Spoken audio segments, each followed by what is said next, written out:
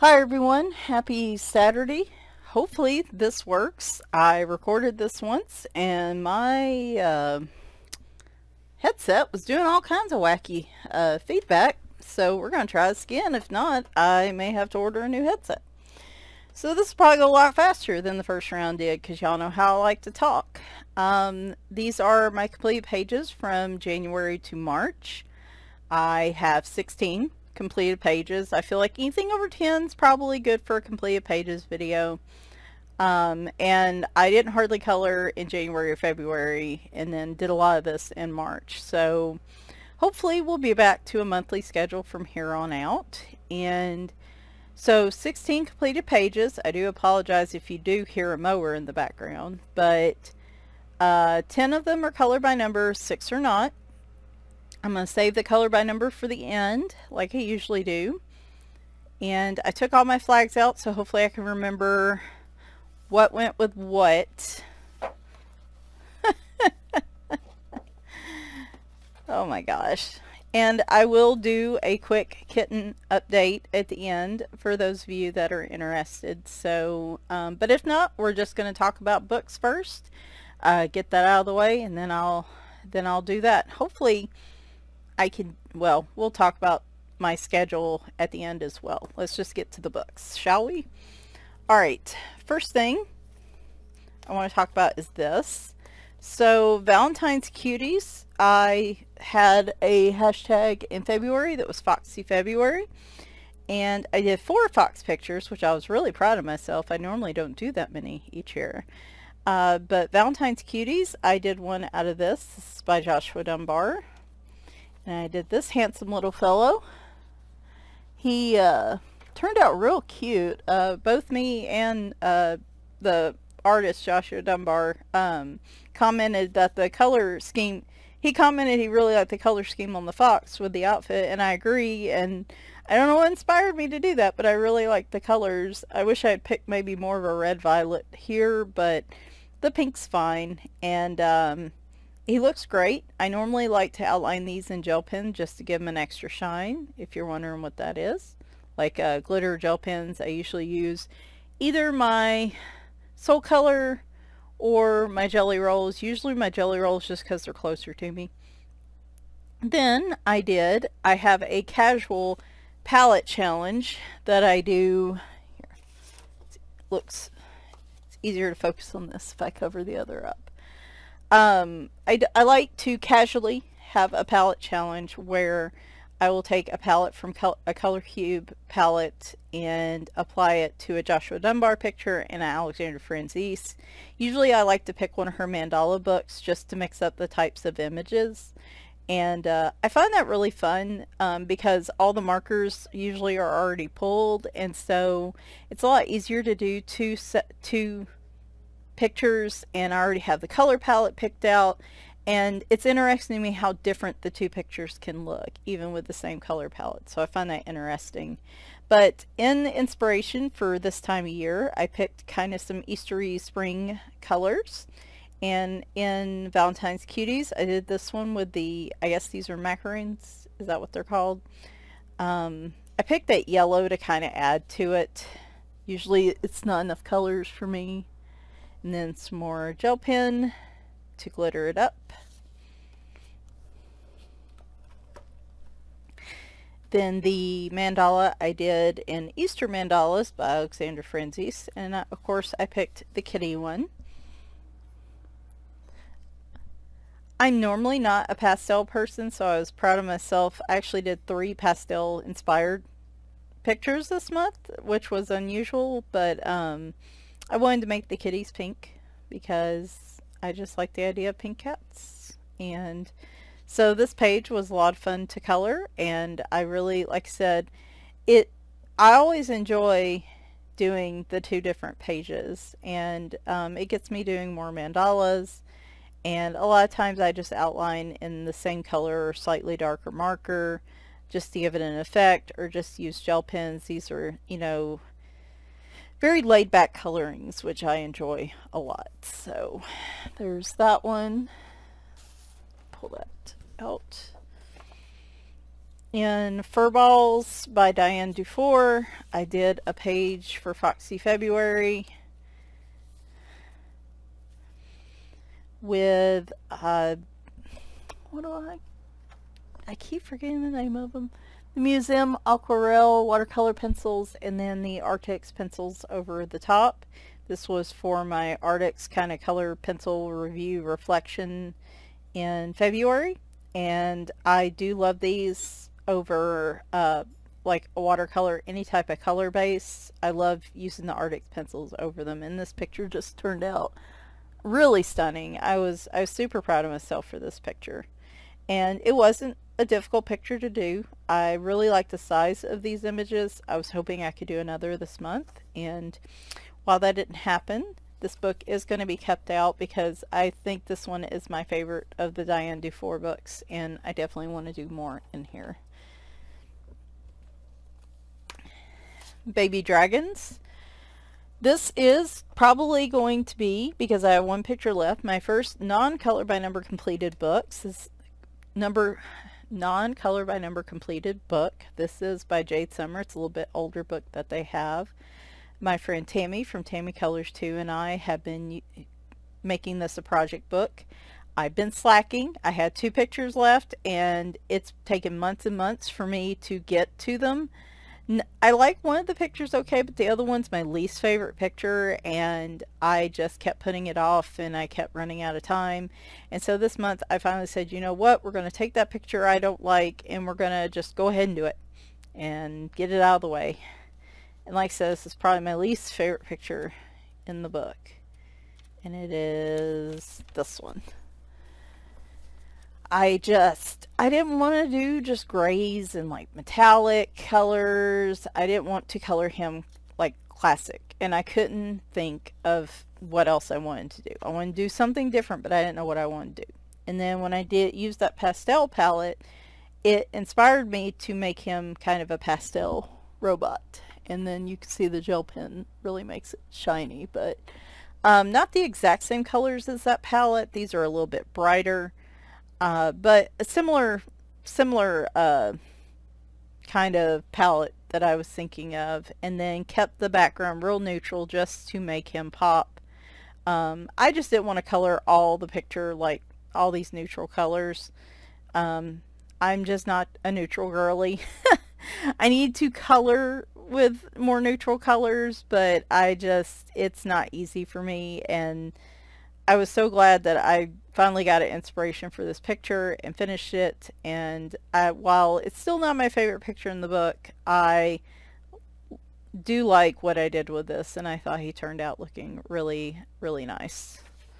We have one more left. I think we have one more left. I don't know where she's at. I've got to check with her. But it's this one and these are duplicates so I'll have to find something to do with the second half but I'm really excited. I was so proud of myself for doing that. If nothing else I did that. So Witches, Cats, and Coffee. This was like the only image I colored in January. And it was this one which I think might be one of my favorite pictures in this book. Um, it turned out really so good. I hadn't been able to really color using like marker and pencil in a while, in a couple months, and I kind of felt like I was out of practice, but um, I had a vision for this and it turned out really, really good. And it's a marker base with Arteza Basic, Arteza, Amazon Basics uh, color pencils on top. This was for the Amazon Basics review in January. Um, I love using the Arteza so much more. The basics I'm going to give away.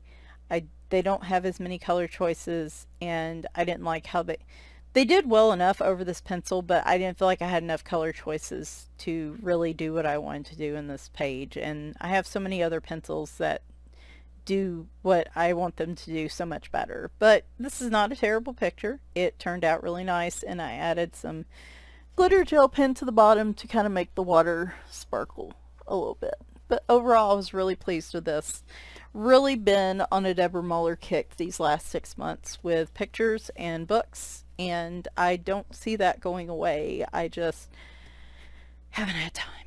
All right, rest of these are color by numbers. I know some people don't really care about color by number, but um, this is been my main type of coloring lately just because it's so much easier when the colors are already picked for me. The palette challenge helps kind of bridge that gap when I'm really just not feeling inspired to pull my own color palette, but color by number just is a lot easier. Anyway, Foxy February, I did color by number animals by Jade Summer, and I thought this picture turned out gorgeous. I really love this book. Um, they tried color by number in the past, and while those did okay, I didn't think they were great.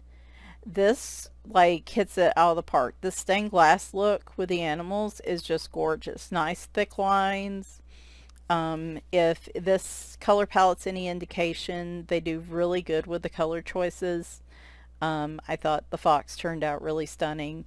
My only critique on this book is there's just so many colors. it's a very difficult color scheme to use unless you have a lot of color pencils, like you have a big pack of pencils or markers to choose from. But I thought he turned out beautiful. I actually think this will be the book I pull to work in today.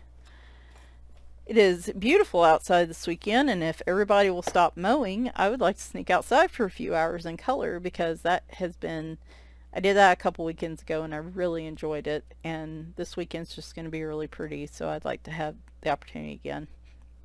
Another Foxy February in Chibi Girls and Adorable Pets by Prachi Dewan Sachdeva. I did this using the Hotu markers that Chris from Christopher's Corner so nicely gifted me. I call those out because what I like about them is they were really juicy markers and because the Sachin books like this have such big, who I want to color that one too. I think I'm going to color this one today too. Um, because there's so big areas in here, I markers can frustrate me, especially ones I've had for a while because they can dry out, they can streak and those markers were juicy, like almost overly juicy, but I'd rather have that than dry markers. And I thought they did really well in here, had really nice vibrant color. They're not a standard marker like an Ohuhu or a CaliArt, and I hadn't heard of them before he sent them, but I'm using them a lot for uh, color by numbers until I can get the juiciness down a little bit, then I'll probably use them in some other books. But I think they turn out great. I have two color by number books I'm close to finishing. Uh, one is Wildcats by Eclipse. This is a Circulism art book series. I love this book. The animals are beautiful and I love the backgrounds against them. And some of the like colors you wouldn't think to use in them, I really love. So like here's the links I did. These take a while for me. Um, they're not as quick a colors as you would think, I guess because of the smaller circles. They do take usually a couple nights for me to do, but I just, I love them. They always turn out looking beautiful, and this is a fishing cat. I think I have four more. I have the cougar, Andean mountain cat, car, car, caracal, whatever, and then the cheetah, and then I'll be done. And then finally, my most worked in book, The Easter Ceramic Tiles, Color by Number by Prachi Dewan Sachdeva. That will, the other book will be my first book by Eclipse finish, and this will be my first book by Prachi, finish, I think. No, no, I finished Halloween Ceramic Tiles, so this will be the next one. Um, and I did six in here. Let's see if I can remember. And like I said, I used here I was trying to use markers I've had for a while that are just finally drying up. They've been workhorses for me. My beloved Wise Brants um, I had a bunch of pinks left and random colors. That's why the colors look a little different here but they are finally starting to dry up after two years. They've lasted a long time. Again I feel like they were just such good markers and I'm so disappointed they stopped making them um, they were my go-to. There was a 50, it was like 50 colors, and they were my go-to for basic color by number books. They had a brush tip. They were just, love them. Anyway, I have some older dry out markers like that that are just kind of left over from sets that I think I'm going to have to toss. I was trying to use them as much as I could. And then I switched over the Hotu markers because it was really frustrating me. As much as I want to use them, having to deal with a mostly dry marker, there's nothing that enrages me more when I just want to color. I love this one where he's in his little carrot car. I think that's cute.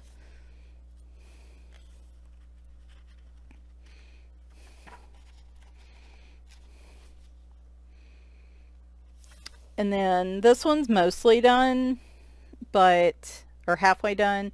I kept trying to tape books up with when I was in there with the kitten, but she wants my attention solely, so I've had to just stop trying to do things up there with her. I think three, four, five. I have five pictures left in this one, and so I'll probably be working on finishing this one up today too yeah, so, um, yeah, I might have, boy, wouldn't it be some if I had three finished books in April?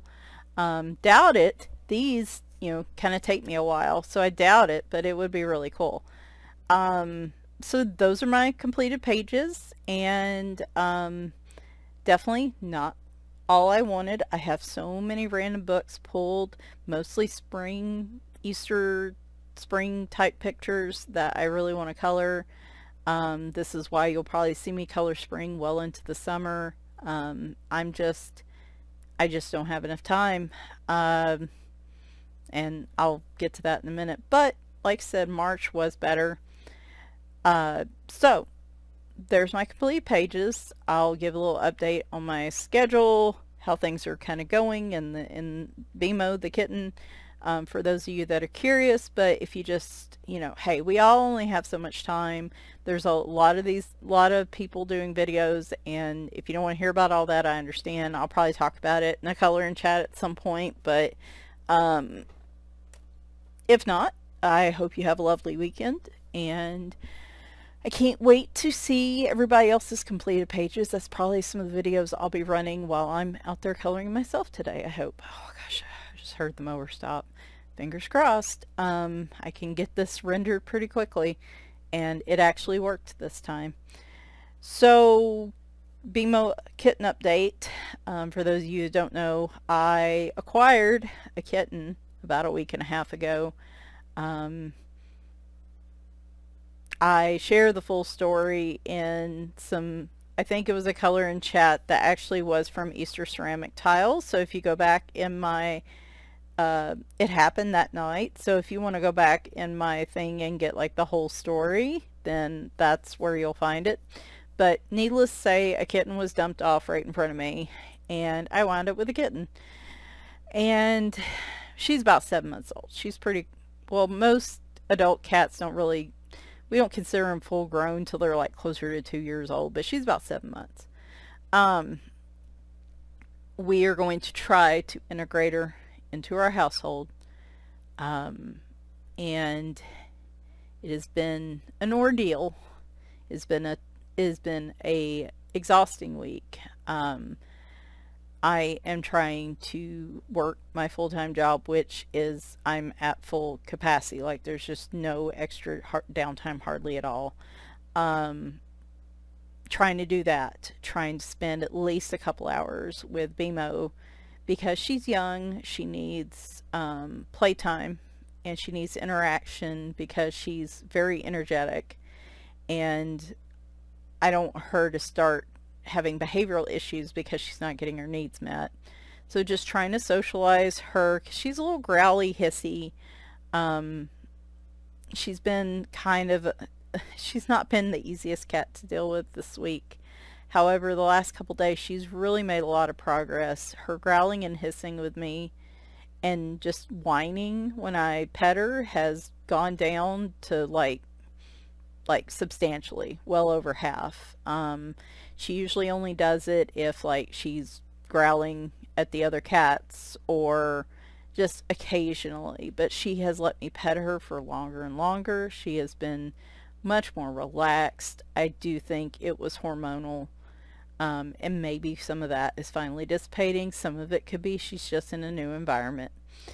Um, but that has progressed beautifully the last couple days. I've been really happy about that. Um, she seems like she wants to be around me more.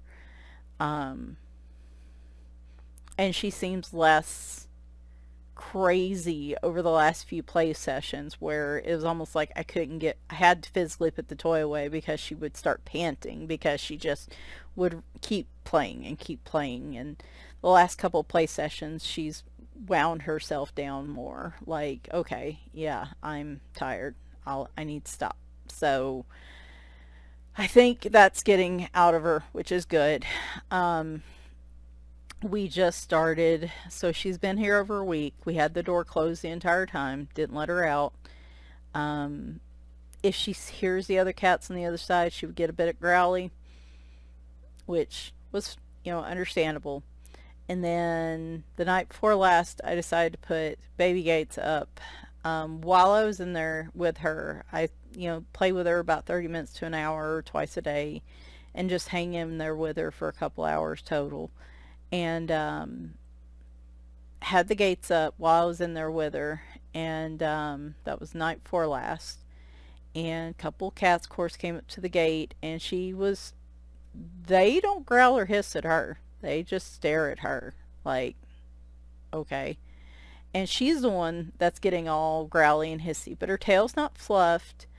Um she she's being dramatic but it doesn't feel like attack. It like she swat, you know, tried to swat at him through the bars, the bars, like she's in jail, the the cat gate a little bit, and like she acts very dramatic, but it's more like, hey, she's scared, and not that she's necessarily trying to be aggressive. So, which is fine as long as she's gonna have when you introduce cats, there is going to be some growling and hissing. I mean, they also have a social ladder they've got to work out. Um, so it was okay just for small bits. And then, like, when I left, I would close the door and, like, she would be able to calm down and have her own safe space. Um, we did that Thursday night. And, like, over the next week, my plan was to do that just, you know, while I was in there and then maybe some during the day um, to give her more and more exposure to seeing the other cats now that she's been around their scents so much. Now she can see them mostly. And, um, you know, we were going to do that over the next week till she got to the point where she wasn't growling or hissing at them anymore, hopefully. And then we were going to let her explore the house fully instead of these little bits and pieces. So yesterday morning I had had the gates up and then I left the room to go downstairs. I'm like, you know, I'll leave the gates up a little bit longer this morning. I need to go downstairs and work. And she's like, no, I don't think so. I will not be contained. And she's the one that climbed over the gates. I tried to put some, I don't have enough gates to fill the door. I tried putting some stuff up at the top to block it. She managed to wick, she was bound and determined to come out of that room. And I was like, you know what? You're choosing your own adventure. I'm to let you figure out what you want to do. And she came downstairs and she slunk around a little bit, sniffing. Um, the other ones would get a little close to her. She'd growl at them, but for the most part, then she'd go off doing her thing. Her tail was up most of the time. She wouldn't seem shut down or super upset. She just wanted to explore and roam around and I watched her very closely for about an hour and she finally got to the point where she seemed like she was done. She was done exploring. She kind of settled in a corner of the kitchen, was kind of crouched, was growling across the room at another cat and just seemed done. You know, like she was like, I'm just done. And after an hour of a lot of play and then doing that, I bet she was wore out. Um, so I went ahead and put her back upstairs in a room and closed the door. She slept like the rest of the day. she she was good and it went a lot better than I anticipated. I wasn't planning on doing that for another week. She, however, had other plans. And so what we're going to do and what we've been doing is I still go in there with the gates up and I still play with her for an hour and then I'll leave with the gates up and I'll let her make a choice if she wants to get out or not. And each time she's climbed over those gates. The la- you know, last night and this morning though, she kind of stayed upstairs in the top of the steps like she seemed like, "Oh, now I know there are other cats. I don't know if I want to go exploring that much." And that could again be that roaming feel feeling is going down. So she's a little more reserved, which is fine. This is we are dictating all of this based on her comfort level and the other cat's comfort level. And um, so she was up there for just a few minutes last night. It might have been 10, 15 minutes. And then I went up there and she just wanted me to come in there and pet her. Like I said, that was the first time she had actively just been like, please pet me. Um, and I pet her for a while and then I put her, you know, I shut her door and she was good the rest of the night. Um, and she is actively like crying at the door and like trying to open it when I go in there. So like I again, I'm kind of letting her dictate when she's ready for interaction, when she's ready for food, when she's ready to do things. And um so she was exploring upstairs and I was like, well, that's fine. I'll just leave it unless a cat goes running upstairs and then I've got to go up and, and police this interaction. Because I the last thing you want is for them to get in a fight or her start chasing them or them start chasing her because that just that's not a good start to the introductory process. Um, that doesn't set good precedent for them. And so sure enough right after said that there goes Leroy upstairs and I'm like oh, Leroy's been the biggest concern in all this because he's so territorial so I went up there and he kept chirping at her that's kind of like his whine where he's stressed and he wants something, but like he's a little stressed, but not super stressed. But he's chirping at her a little bit like, hey, you know, why are you growling? Knock it off. Um, then he went in her room um, because I can't, as much as I want, I can't figure out a way for her to get out and go in on her terms and keep her safe in her room without the other cats being able to get in there too. So um, he went in her room while I was sitting there and she just, she didn't look like severely upset. She just looked scandalized. Like she did not realize he could do that. Like I can go in their space, but they can go in mine? What? What is this? And um I just let it happen. You know, I was up there about 10, 15 minutes. She would growl at him, then she'd follow him, then she'd growl at him, which I felt like was kind of conflicting um, emotions there. If you don't want to be around him, just leave him alone. But, um, and then he used her litter box. Now, he is, he wasn't neutered till he was like two. He is a very territorial, still tomboy, tomboy, um, that's not what I'm looking for. Tomcat type. And um, occasionally he will pee on things if he's upset. Um, he's the only one I have that has that problem. Uh, so I was a little worried what he would do in there, but he used her litter box instead, which I was just proud. I was like, okay, well, if you're going to do, do that, do it in the litter box. That's fine.